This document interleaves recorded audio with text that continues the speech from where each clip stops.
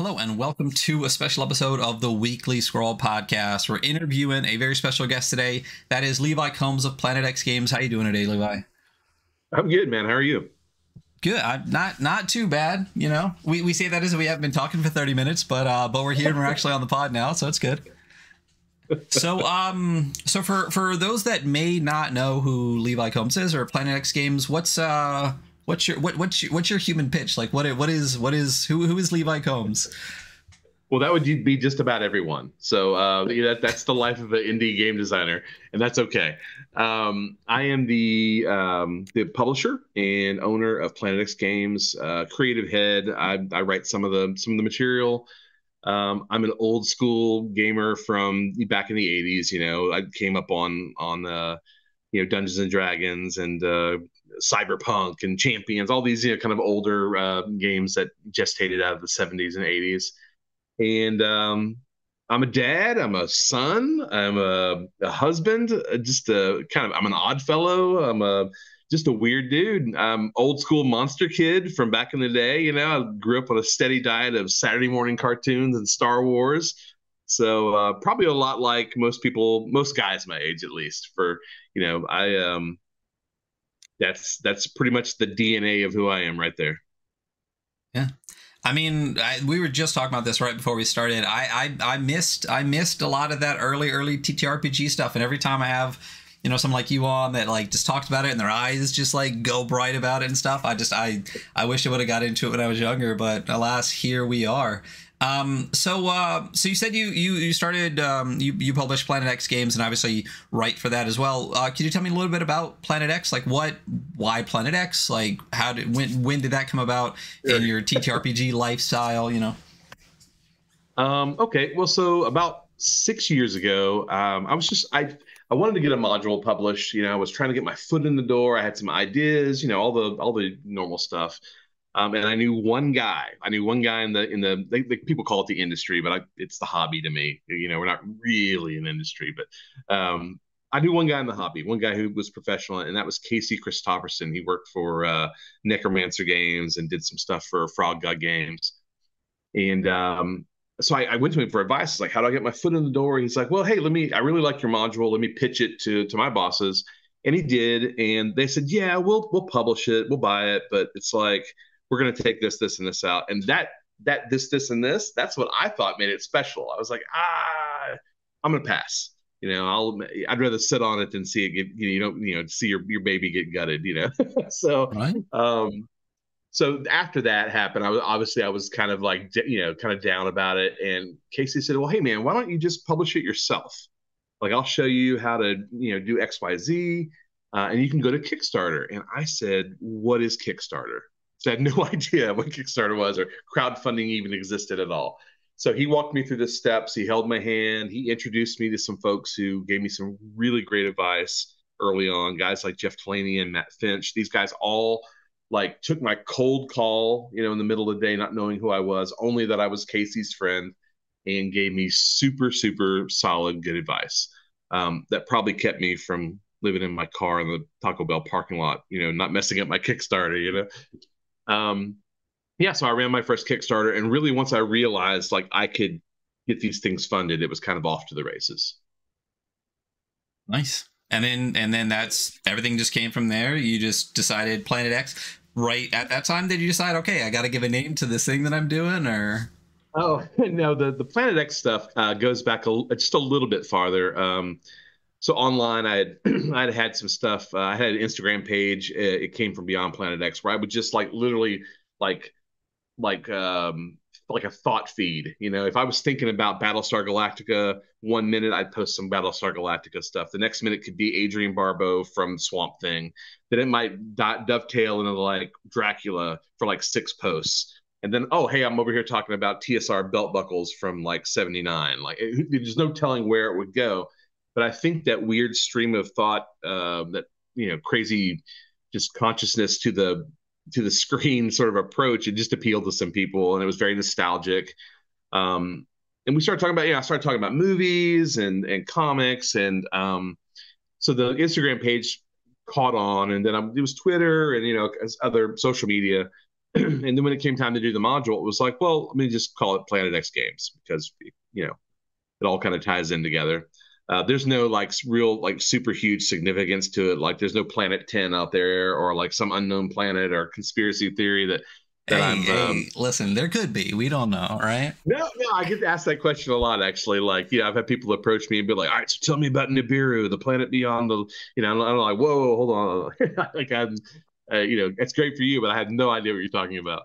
Um, no, but um, yeah, it's so it all just kind of wrapped up, and I had tons of ideas because I've been writing stuff in notebooks for 20 years, you know, and hmm. scribbling mm-hmm. down ideas, and of course, running games and playing in games. So um, it was a very easy leap from just being like pop culture monster kid to making games. There you go. And then you just kind of went off to the races, like you said. I mean, so I have a couple here and a couple more that are in piles all over the place. But um, for a little bit of a, a, spread here, the Phylactery Omnibus, which is absolutely fantastic. This is all four of the uh, other phylacteries plus a little bit extra, if I'm if I'm not mistaken. And oh, then yeah. we got um, King Tut, Rootin' Tootin' Weird West, uh, Extrava Bonanza, right? and Western and, wear. Yeah, and then magic and shit. So a little bit of a, a, a variety of stuff uh, you got going on, um, and it all kind of leans into, for the most part, um, either the OSR space or whatever some people are calling like the newer OSR space or whatever. But the majority of your content outside, it looks like maybe some some 5e stuff, um, really lends itself to what you were saying, some of the the early games and stuff. Is that I mean, that's clearly obviously the choice. Is that where your your focus has primarily been, or do you feel like there's been a more of a spread with it? Oh no, for sure. Um, so I started off doing 5e products because um, I was playing 5e at the time. I was interested in in, in fifth edition stuff.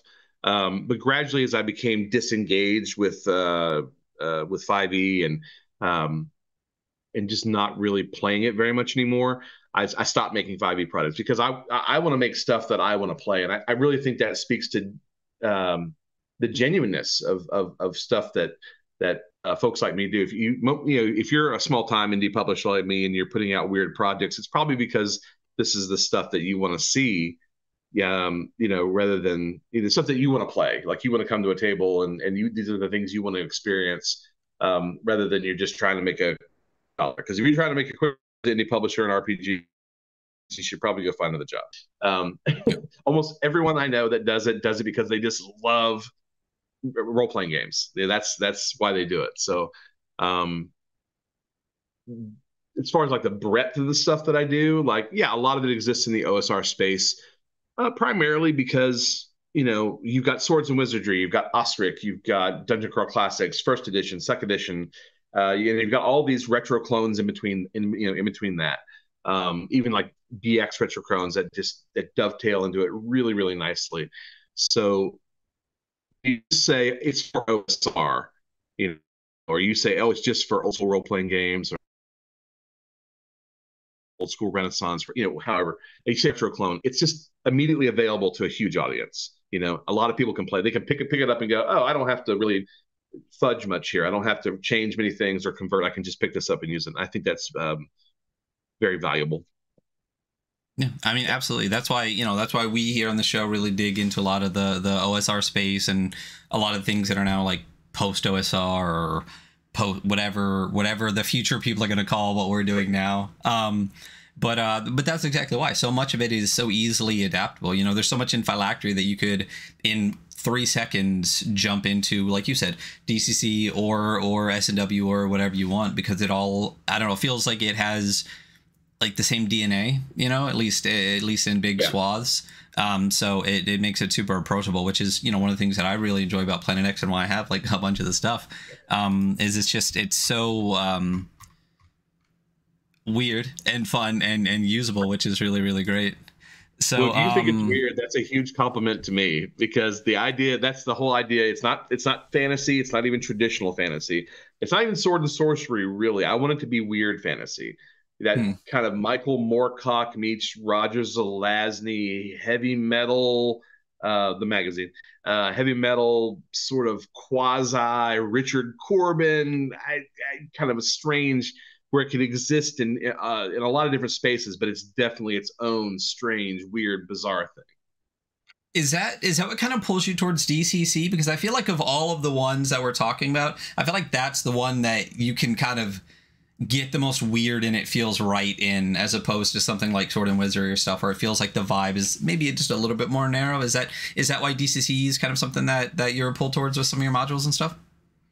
Yeah, no, for sure. Like, and, and DCC has a really like it's a good space to just create and explore weird ideas. Like, um, like I just ran um, a module for a bunch of really experienced DCC players, and um, one of so one of the characters he, he, died in the first session, but in the second session we were like, well, do we have a new character or how do we bring him in?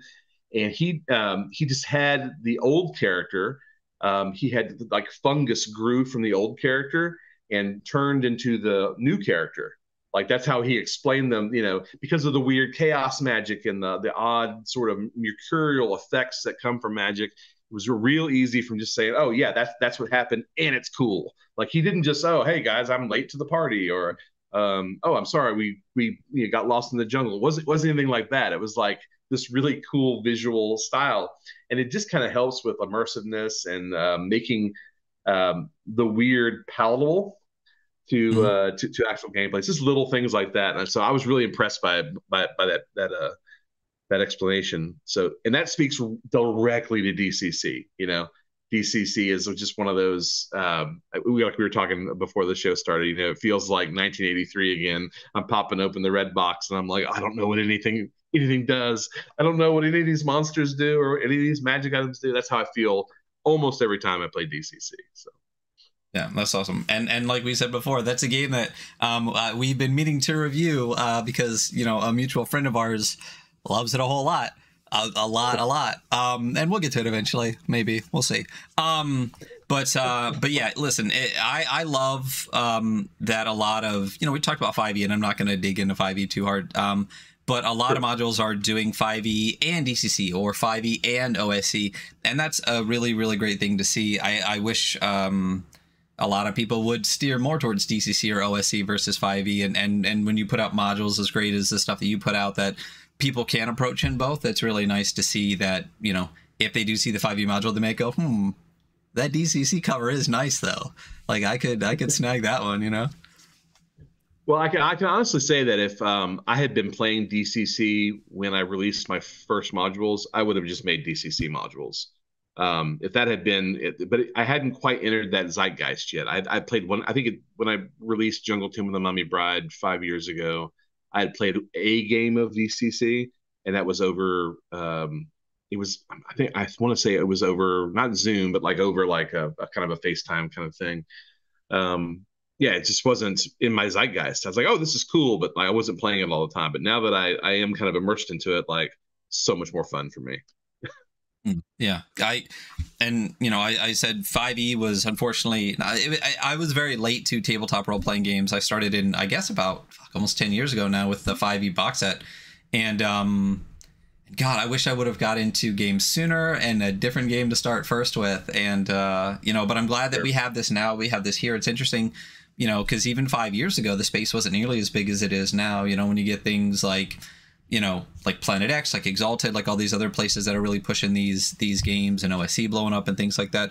I feel like we have entered, you know, what feels like, even though I missed the first one, like a like a, a second or third or fourth, I don't know, like a golden age of tabletop games now. You know, partially because nerd culture is acceptable in the mainstream, not like it was previously. But um, it's really fantastic to be able to have you know someone like you someone like planet x you're putting out a lot of this content for numerous systems but like for stuff that i missed and now i get to experience all over again. So it's it's really great to see such such um, such good content. So thanks. Yeah and, yeah. and, you know i don't i don't have a system of my own. I'm not you know I, i'm not trying to hawk a uh, or promote a system of, of my own at least not yet. Um, there is one in the works but um, that's some some some time off. But I want to support the systems that I enjoy. Like that's why you see mm-hmm. like um, I'm doing more DCC DCC stuff now. I'm doing more OSE stuff now. I just uh, in fact I just did a, a book for Exalted Funeral that was uh, OSE, and I've got modules for OSE planned out um, all through like the next two years. So there's a lot of stuff coming, and none of it is 5e. it's hey, all either listen. DCC, OSE, or some sort of retro clone. Um, and, and I've got a Weird Frontiers adventure coming too, just because I love playing Weird Frontiers. It's such a cool, cool game. I really like uh, Dave, the uh, creator, and all, and the whole community around Weird Frontiers. So I was like, you know what, I should write a, I should write a, um, I should write an adventure for that. I already kind of did with uh, the uh, the King Tut's Rootin' Tootin' um, Weird West Extravaganza. That is, yeah, that's a thousand percent inspired by um, Weird Frontiers. So there you go. I mean, it definitely is weird. I'll tell you that. I I um I don't even remember what the first Planet X thing I saw was. Um, but you know, as soon as as soon as you see something from it, you're just like, man, like it might have. I don't even know, but like magic and shit is such like a great like is is a great zine but even just like the cover like you got like the the the horns wizard on the front it looks kind of spray painted like it's just so vibey like yep. it's it's very clear like you you get a huge sense you know of who you are and what you're putting out just by the the games that you're putting out by the content that's in it by the systems that you're choosing and even by the art that's like on the on the covers of the book and it's just it's it's awesome. It's a it's a great vibe. And and that Instagram, I'll tell you what, I've never uh, followed some of the posts so much. It's nice to see the the stream of consciousness come out throughout the day. Yeah, like literally, if I'm like driving down the road and I'm think, I start thinking about, I don't know, like some movie I saw when I was a teenager, and I'm like, oh yeah, I wonder whatever happened to that movie. And then I pull over to the grocery store and I'm like in my car for 20 minutes researching it, looking it up, and posting pictures and talking about it. It's just, it really is a stream of consciousness. There's no telling what's whatever's going to be on there. It's um, yeah, you're you're getting uh, like radio signals from my head. Just unfiltered, just right onto it. God, I struggle to post like once a week just to be like, man, I should probably tell people that we have a podcast episode out. I just can't. Uh, I can't. I, I just can't wrap my head around doing that much. It's just not the way my brain works. But it's nice to see. It's really cool to see uh, when people are capable of doing that. It's it's fun. It's really interesting to see um see all this stuff. Um, and now we've talked um, about these projects coming out, um, all of these modules coming out. You do crowdfund um, your projects, or at least you have in the past. Um, are, are how how's that? How do you how is crowdfunding for a lot of like indie modules and stuff like that? Well, I mean, if you're not coming from a you know a place where you have a serious um, bankroll, you know, if you're just like a normal guy like me with like a family and job and you know the whole nine yards, then you know if you want to make something cool, but you know you're not you, you don't want it just to be the bare bones. Crowdfunding definitely helps. It's it's like it really is a, a nice step. And, and my my day job is logistics. Like so, I have a pretty good handle on like like all right, well this is what I need. I have a plan. Let me time it out. You know, yada yada yada. So I'm able to uh, that was kind of a, a, step in my favor, I think, when I started because I was already organized, you know, and I already had the Instagram and the the, the, social media and stuff, um, not so much dialed in, but like I, I, I wasn't getting lost, you know, uh, trying to juggle it all. um, so yeah, so indie publishing, it's hit or miss. Like it, it's it's probably not going to be your only job. I mean, at least I hope not. Unless you're coming from, like I said, deep pockets or you're sitting pretty already. Like, you know, it takes a minute to get there. I think if you want it to be um, be your only job, like I know guys who have made it their only job, and but you know they they started out having other jobs, and they eventually got to that got to that place.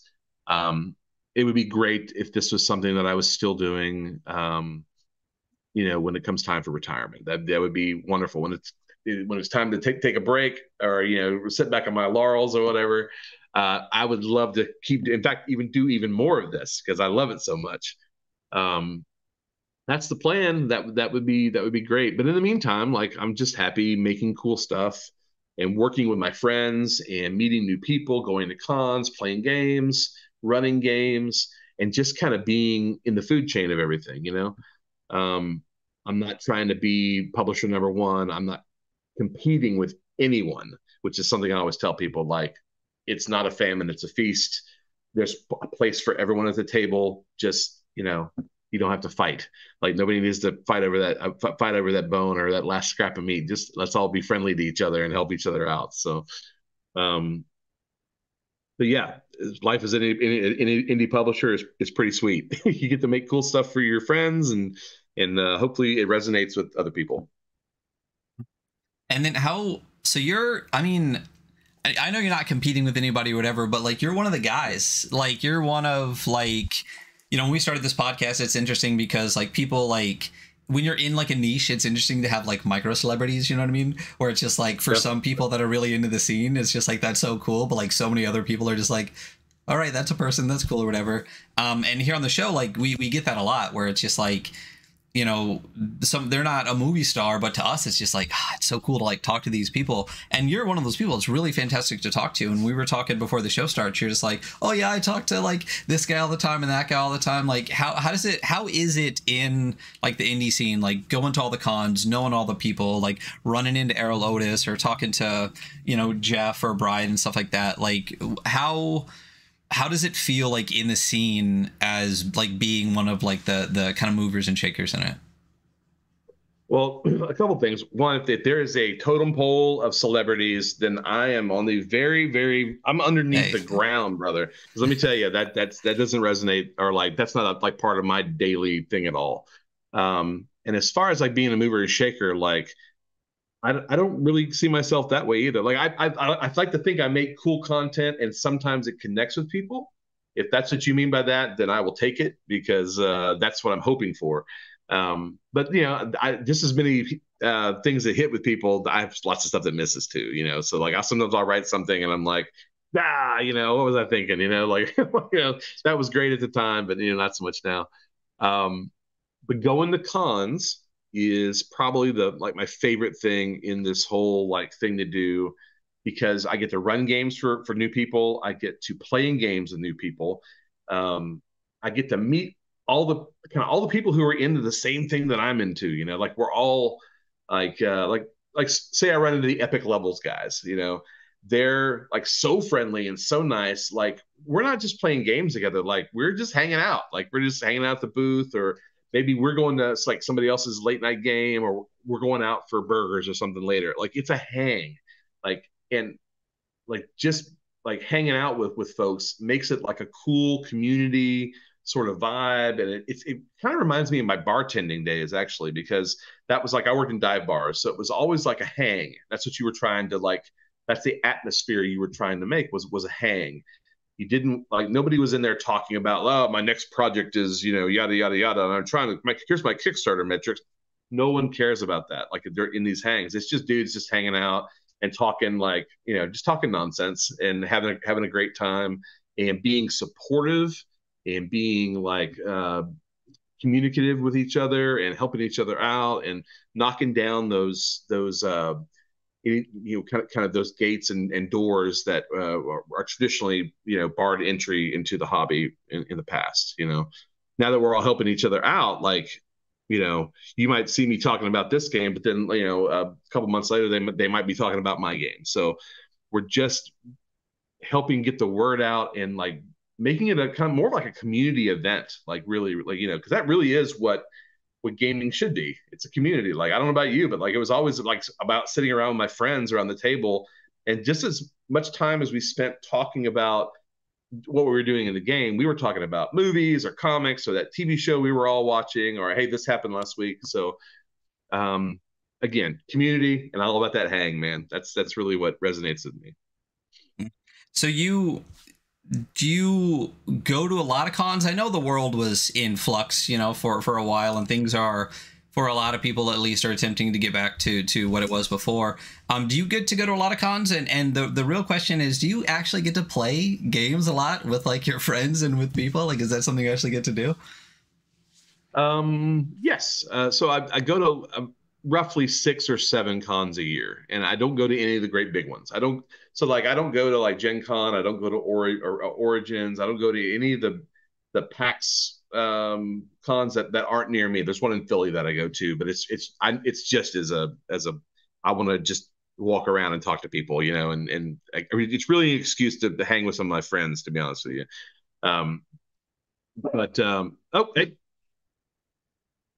come on, on. Sorry. Oh, that is for, uh, for, for podcast land out there. That is the pupper. Yeah, sorry, my uh, I, I have a little tiny puppy, and she's she's very uh very aggressive. If anybody walks on the street out out, out front, she wants to protect us.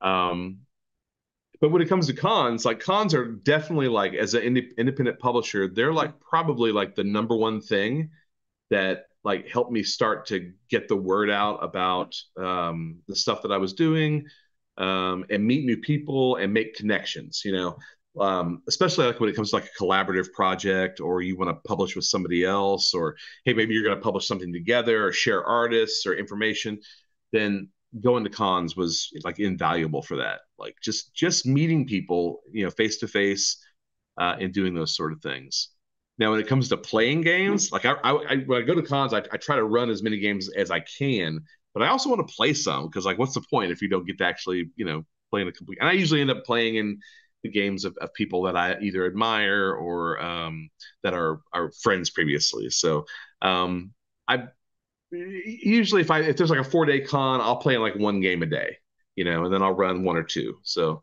nice. and then you do this time at the booth and the whole nine, you know, whole nine yards. So that's another thing. Like I I I get a because because I run a booth with like six other dudes. Like we're all shifting in and out and you know, some some sometimes these guys are running the booth, sometimes I'm running it. So we all know about each other's product. We know how to explain it or sell it. Um, so it gives all of us a lot of leeway and freedom to not only run games, but the, the, you know, but to play them as well. Yes. And do you do you actually get do you have a home game? Like, do you have like a, a continuous game that you get to play? So I did, um, but again, we, we just moved. Uh, we, we like we've only been here like I don't know eight months or something, and we're still not even unpacked. So like this, you know, it's a we were previously an Air Force family, so uh, there's just you know still boxes and, and totes of stuff everywhere. But um, there are some local game shops. I have stopped by and talked to folks. I've got some I made some connections with people, so I'm I'm hoping for that. Um, I do have a Friday night game that I that I play in. It's a DCC game that I play there with uh, Bob Brink. Yeah, Bob Brinkman and, and, and his crew. So a lot of play testing. Like right now, we're play testing uh, Caverns of Thracia, uh, okay. which is, is is the DCC uh, conversion of that. So that that's just been awesome, and um, I'm really lucky because Bob's a fantastic judge. Like he's just a, a great, fair, and uh, super knowledgeable dude that uh, can describe things in a way that doesn't uh, give away the the mystery and, and wonder of things. So, yeah. Nice. Nice. So, um, you know, talking about collabing on projects, like you just said, there's a project you have going on right now on Kickstarter. Yep. And, you know, there is, why don't, I'm not even going to talk about it. What, what do you got going on on Kickstarter right now? What, uh, what, what is, what is this project? Um, um there's a zine on, on Kickstarter right now called Closet of the Eye Wizard. Um, and I wish I could take uh, great credit for it, but I, I really can't. This is really um, the genesis and the uh, the brainchild of uh, our mutual friend uh, Loz the Eye. Um, he gathered together this fantastic. I'm really a murderer's row of artists. Like we're talking like you know Peter Mullen, you know, Doug Kovacs, Chris Arneson, I mean, all these great guys. Um, uh, some of which are, are well known for their DCC work, and some who are are you know not known for doing that kind of work. But regardless, the the, the list of that that 16 um, artist list of like list of collaborators is just in, incredible. But then on top of that, he went out and he basically picked 16 writers that he admired and matched them up um, matched them up with a piece of art and said, "Hey, uh, can you create something based around this art?" So what, what you get when you get Closet of the Eye Wizard, you're getting not just something that's like a, a, resource for um, role playing games or DCC specifically. You're getting half of that is like an art book. You know, you're getting an art zine. So every time that you open up a splash page, it is a representation of of that artist and that writer collaborating. You're getting you know stats here, but you're also getting this this this you know some pages might be black and white, some pages might be double spread, some pages might be color you just don't yeah but every time you turn the page you don't know what you're getting and i, I find that really really intriguing um, and just it, it kind of a cool approach to doing a, a, a, zine yeah i mean it sounds crazy when Loz was first talking to me about it um, even just uh, just a just a, a a splash of the names across it. You're like, how could you not have this? LFOSR, Max Moon, Mustafa yeah. Bakir. I mean, uh, I mean, you even have like Gabriel Quiroga and stuff like that, who did like Hell Knight and uh, Warplane and mm-hmm. stuff. I mean, the the width and breadth of of of the talent across the entire world is is insane, and I can't believe this many people are going to be in like one zine. It's awesome. yeah, I mean, that's another thing. It, it's a it's a global zine. Like you're getting people from uh, all really all over the world, but then you're getting people from all over the kind of uh, I don't know the I don't know how you the headspace of RPGs, like people who do all sorts of different uh, RPGs. You know, like you you mentioned Gabriel, and there's all you Lazy Lich, and all, all these guys that, that that are there from all, all do different things. You know, um, you know, there's not a whole lot in common for like one page is you know Jim Wampler wrote it, but then the next page like Brian Shutter wrote it. Those are two very different approaches to you know to, to writing. Um, so it's it's just cool to see. I think it's a really cool idea and it really, really is um, a community project. It's kind of for the community by the community. You know what I mean? So that that that really appealed to me. And what? So you said Laws really kind of you know put a ton of this together. What? What um, did he come to you with with the idea for the project, or how did it actually get to get to get to real life and actually get out on Kickstarter and get ready to get going? Yeah, so um, we had communicated previously a, a couple years for, a couple years previous, and he um, he and I were going to do something for I believe it was Knock magazine. We were going to do like an article uh, about um, a, he had a he had a um, a map from uh, Alex Gnarled Monster. I'm, I'm, I'm, struggling with his last name, but a, a Gnarled Monster. Uh, beautiful map from Alex, and uh, I wrote a dungeon around it. But it was it was kind of the dungeon was kind of too long for for Knock. You know, Knock has that you know one and two page um, you know, every again, every every every time you open it up, every every page you go to is different, and it just didn't kind of fit the format for Knock, and we kept reducing it, reducing it, reducing it. It just just didn't fit the format. Unfortunately, it would have been it would have been a great article, but then I said, hey man, I I really like this. Uh, why don't we just why don't we put it in the Phylactery? You know, I really I love this map. I love the idea behind it. I love the fact that it shines a little light on on Laws, who's a fantastic member of the community. Um, and it kind of furthers the whole mythos of the of the eye wizard himself you know? Um, so we did. We ended up putting it into um, i think it was phylactery 4 uh, and then uh, it was of course in the phylactery omnibus as well. Um, so that was just a great collaboration. Like he was very easy to work with. Um, you know all the observations that he made about the writing or the art were just always spot on. Um, so i was just really happy to, to collaborate with him and work with him so then um, he says, "Hey, I've got this this all, all these pieces of art, and I'd like you to write a piece based around this piece of art."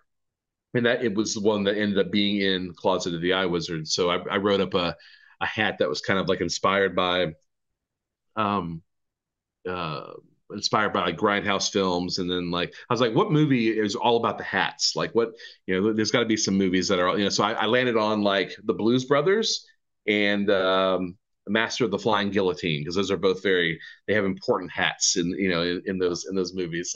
so uh, I I kind of merged the two concepts together, made a magical hat out of it, filled in some lore, and uh, yeah, I was just really happy with the way it came out.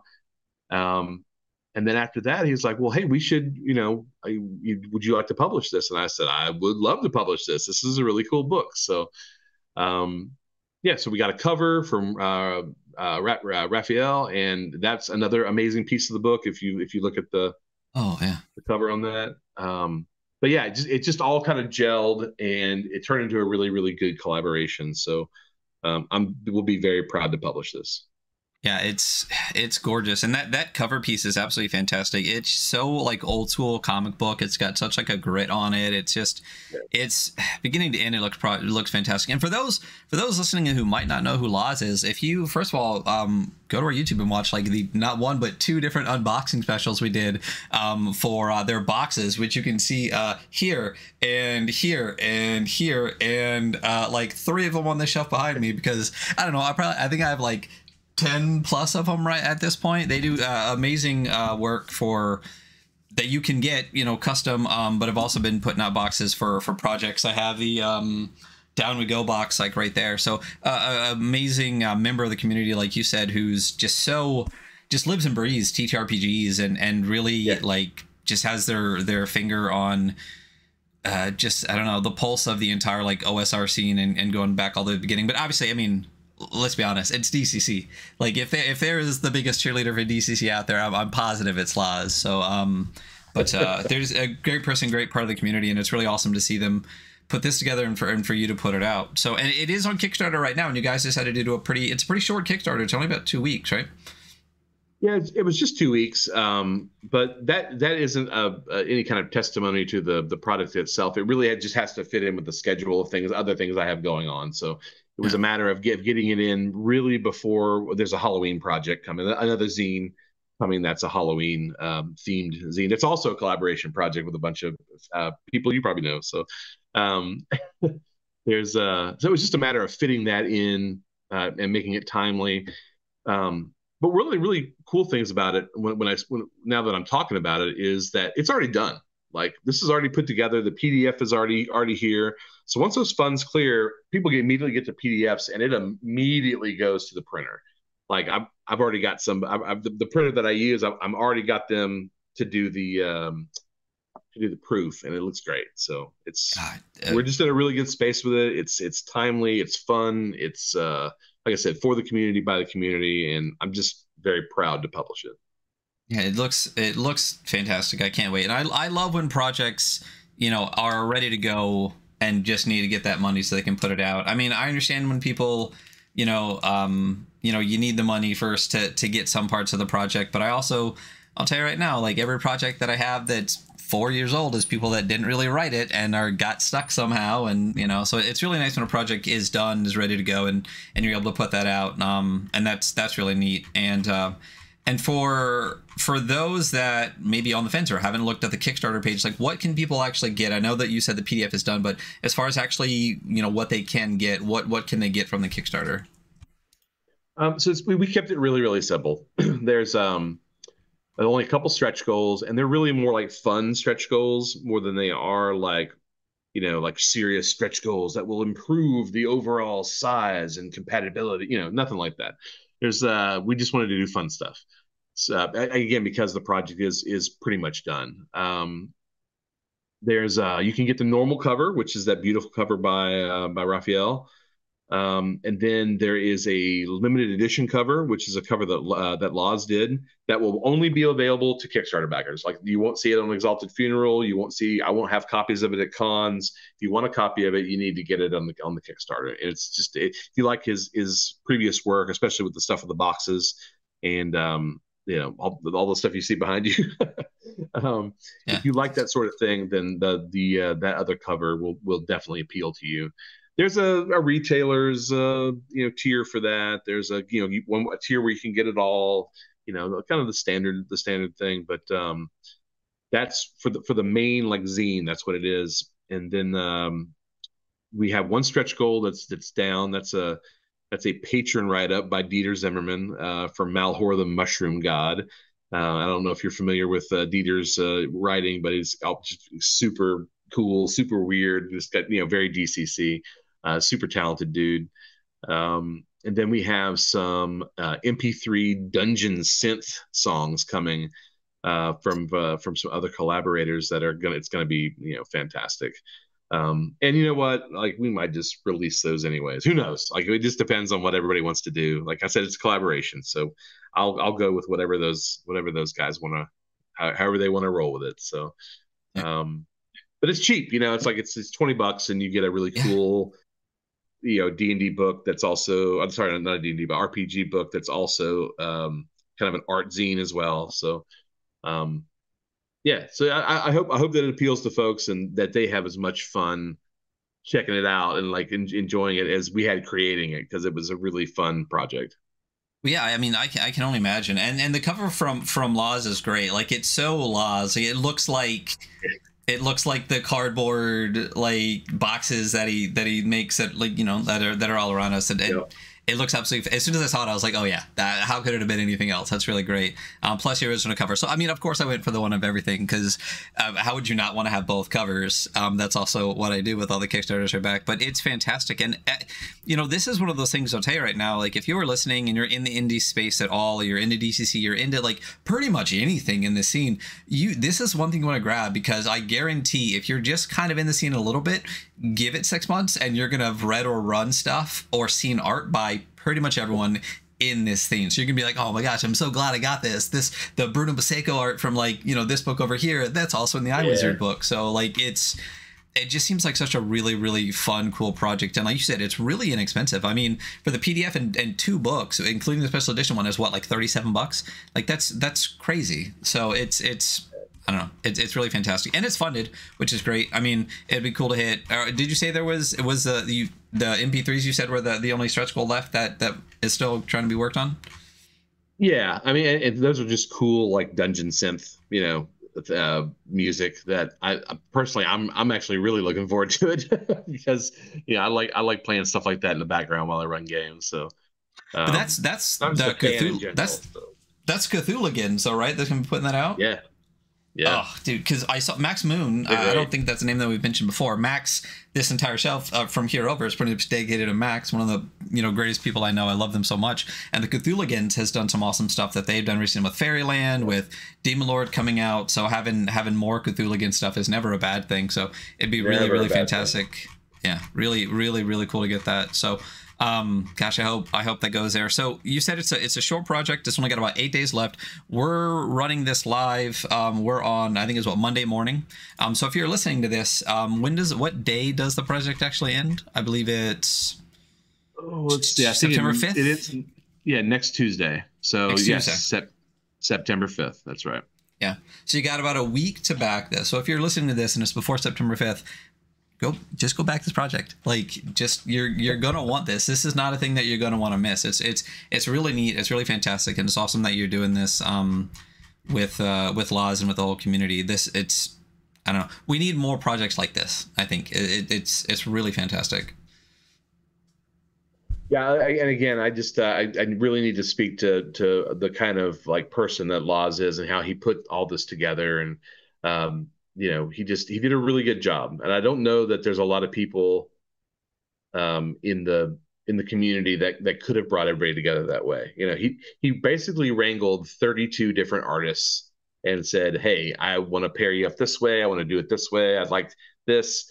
Yeah, and then said, "Here's the freedom to go and do basically whatever you want. You know, like, deliver it however you want it to look."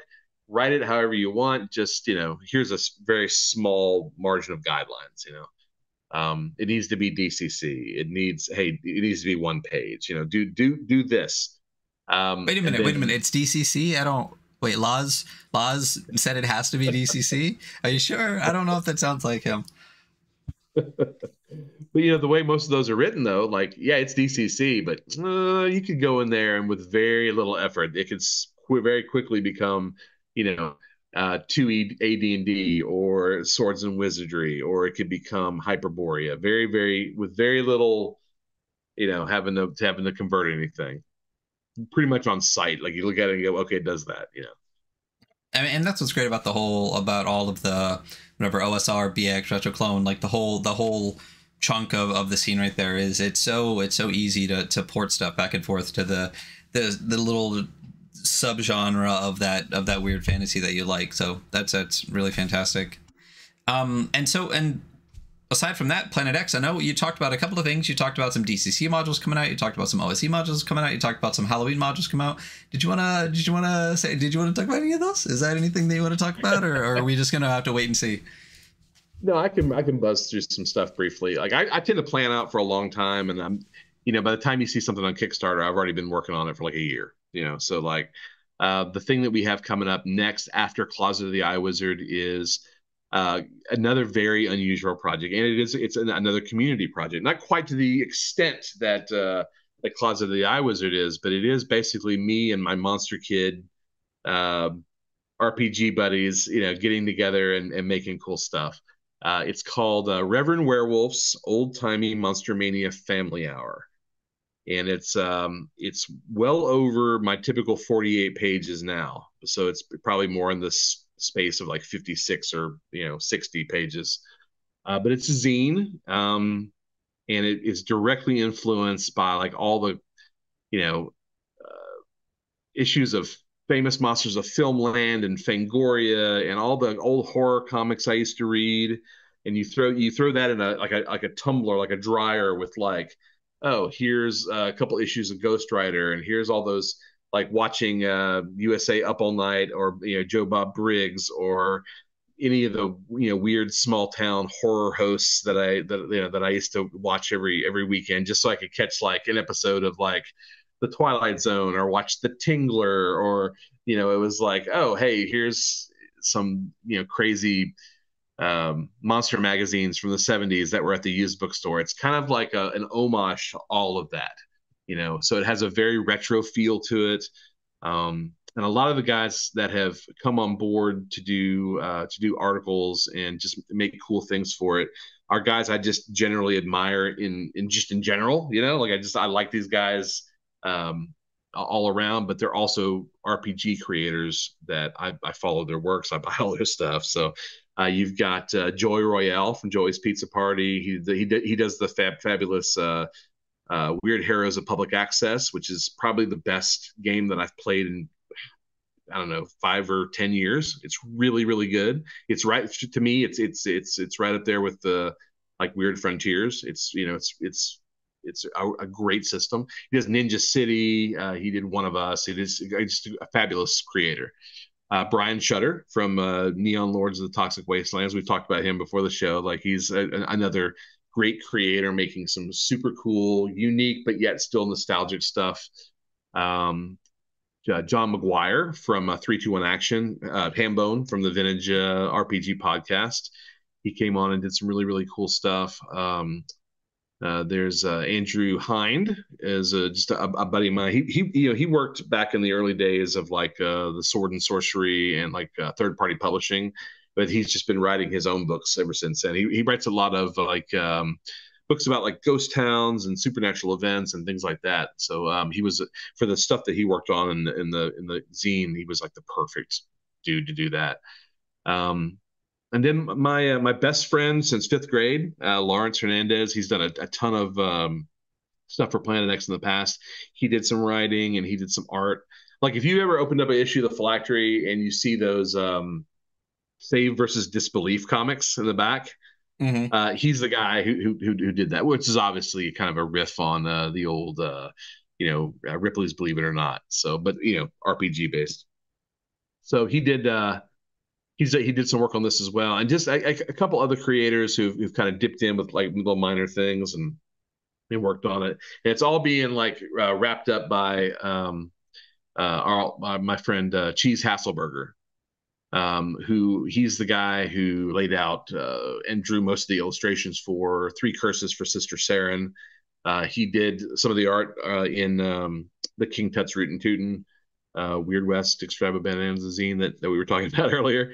Uh, but he's done a bunch of stuff, for, you know, for Phylactery and for uh, some some other stuff. But he's a fantastic uh, independent artist, cartoonist, and graphic designer. He's been in the game for like 20 plus years. He's just a crazy talented dude. But um, yeah, I'm already going way way long on that. So, uh, but yeah, that's it's it's going to be a, a killer killer zine. The, the the preview that I got on the I got on the cover uh, not quite done yet. but The preview I got, like when I got it, just blew my mind. Like I was like I was looking at a Basil Gogos cover for like a 72 issue of uh, you know famous monsters. So very very cool.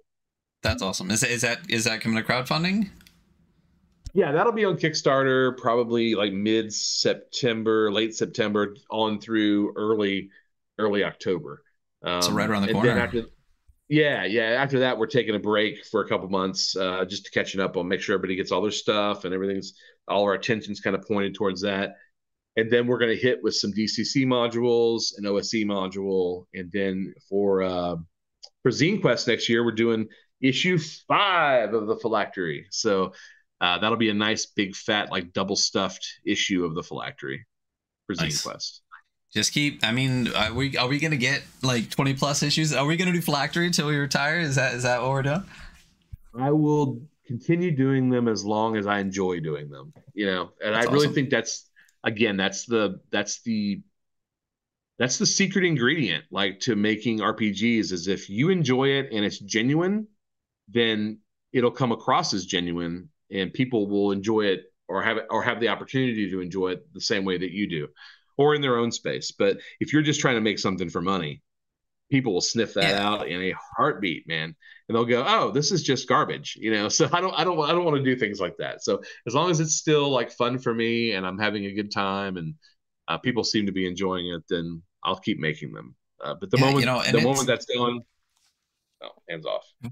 It's you know, it's so it's really nice. It's I don't know. I, I love that about Planet X, and and especially now that you know I've met you and talked to you and stuff. You seem like such a genuine person, and it, it really is true. Like, is if you you can tell when someone is just making something at some supplement for this or something for that, or this is popular, so someone do that, and then you can tell when someone's heart is really into what they're doing, and you don't really get things like Big Eye Chungus you know, from someone who's just making stuff just to to to get a buck, and that's really awesome. Like I said, you know, throughout a lot of the content, it's so evident that you love what you're making and what you're doing and having fun doing it. And it's it's really enjoyable. It makes it really fun to read really easy to support you know. So i'm i'm you know it's it's it's been a pleasure talking to you. I'm really glad that you got to come on the show. And i just want to say that uh, you will have a forever supporter here on the show, and, and, and, so much just because of like what you just said, just that it's it's it's so clear that your heart is into it and your and your mind's into it, and it's in the right spot to just make cool stuff for for people that you know that you love, and for people that uh that love the kind of stuff. So you know, it's it's it's it's great. So. That's very, very kind of you to say. Like that's that's a way better compliment to me than uh, than just about anything else. to be honest with you, that, that that's great. It made my day.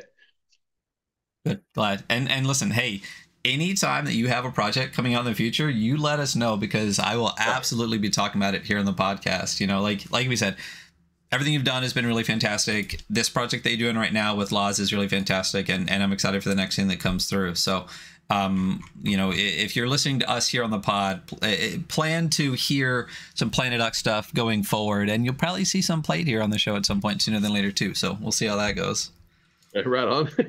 yeah. So hey, listen, Levi, I super appreciate you coming on the show. Um, is there anything else about the Kickstarter? Or anything else you want to just make sure that we get to before we go, or um, or uh, or did we hit everything that we need to? I think we hit everything we need to. I just, I, again, I really want to um, say, really want to point out, really, that this was this latest Kickstarter, the Closet of the Eye Wizard. This really is the baby of of of Laws and without him, it wouldn't exist. Uh, without him, this collaboration of incredible artists and, and creators would never have been gathered. Um, I'm just very fortunate that he chose me to be the person to publish it and to hand it, you know, hand his baby over to. So, um, thank you, Laws, and thank you to all the collaborators that um, that put their hard work into the book. Yeah, I like I said, I can't wait for that project. So, uh, as far as you know, we've talked about a lot of your stuff. Where can people actually find all of your the stuff that you've put out? So all my stuff is on Exalted Funeral. So if you just go to Exalted Funeral and in the search bar at the top, you just write in Planet X Games or even just Planet X.